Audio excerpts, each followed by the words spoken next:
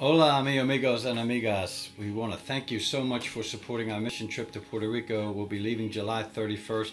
We've nearly raised all of the money we need, and now we are in the planning stages. Uh, Tamara, Kim, and myself want to thank you so very much. Ask your continued prayers.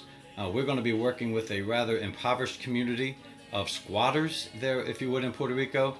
They've been rather ignored by the government for the last 30 years or so and now they are in the process of rebuilding their homes after Maria, after the earthquakes, and now after COVID 19. Uh, besides working with the families there, we are partnering with a local pastor who is restarting a church that was once closed, and now they see the need to go back into the community and reopen. So we look forward to working with the, the staff there at the church and then to help reach the community to help uh, bring them back to the church and for the church to go back to them and much like we do here at Woodstream, reaching out to our new neighbors, trying to bring them to Christ and into fellowship and let them know we're here to help them. So continue to pray for us. If you want to continue to support us, you can do that through Cash App at Carroll Mission. You can do it through our through our Facebook site, Carroll Mission Outreach, or you can do it through the Woodstream Giving site.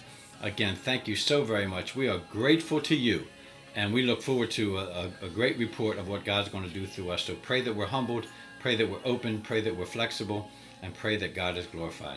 Thank you so much. Woodstream Iglesia. Adios.